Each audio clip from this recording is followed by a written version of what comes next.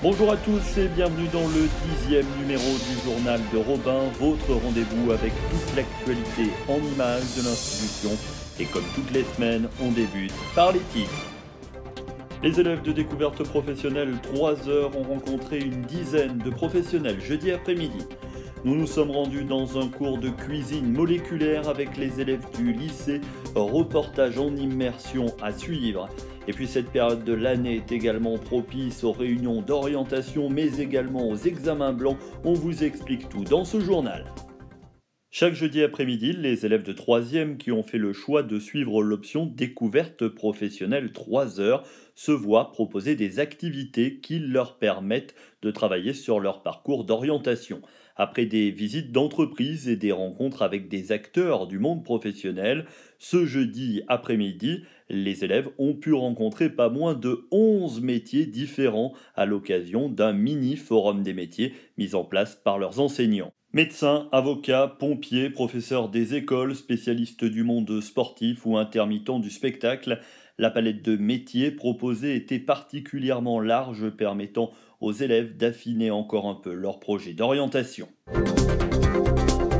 Au lycée, dans le cadre des enseignements d'exploration, méthodes et pratiques scientifiques, un enseignant propose à ses élèves une initiation à la cuisine moléculaire.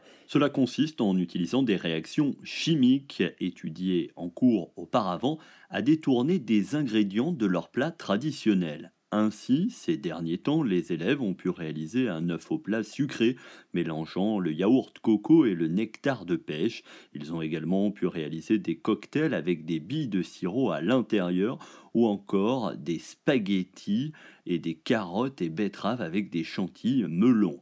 Les élèves doivent également réaliser un diaporama PowerPoint qui présente la recette et les effets chimiques mis en avant. Cette période du mois de janvier et le mois de février à suivre est une période propice aux examens blancs, une mise en situation d'entraînement pour l'ensemble des élèves de l'institution. Ainsi, des bacs blancs ont été organisés pour les élèves de première, mais aussi ceux du lycée professionnel, un brevet blanc aura également lieu dans les prochains jours et après les vacances de février, ce sont les élèves de terminale qui plancheront sur une répétition générale de leur examen du baccalauréat. Cette période est également celle des inscriptions et avant la porte ouverte qui aura lieu le samedi 7 mars prochain, des élèves viennent déjà vivre en immersion au sein de l'établissement. C'était le cas cette semaine au lycée pour des élèves actuellement en 3e au collège Saint-Jean de Pélussin.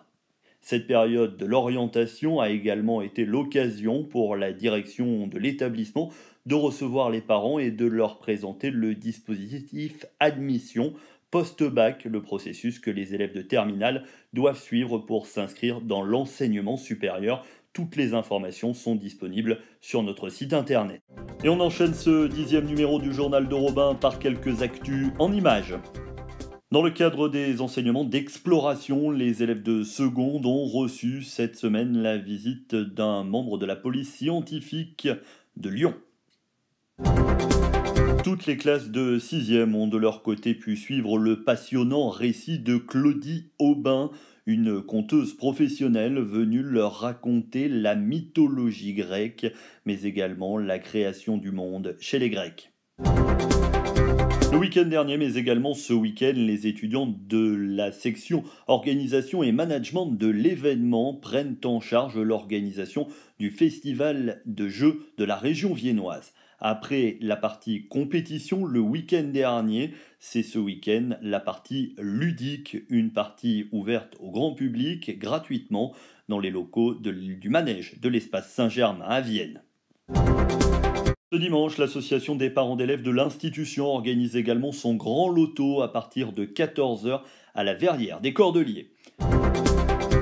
Un déjeuner ou un dîner à organiser, ayez le réflexe du restaurant d'application du lycée hôtelier au château Belle-Rive. Des déjeuners et des dîners entièrement préparés et servis par les élèves dans le cadre prestigieux du château Belle-Rive, un quai, Frédéric Mistral. Les nouveaux menus jusqu'à la fin de l'année scolaire viennent de paraître, ils sont disponibles sur notre site internet. C'est sur cette idée de sortie que s'achève ce dixième numéro du journal de Robin. Merci à toutes et à tous de votre fidélité. N'oubliez pas de nous retrouver sur notre site internet et sur nos réseaux sociaux. A très bientôt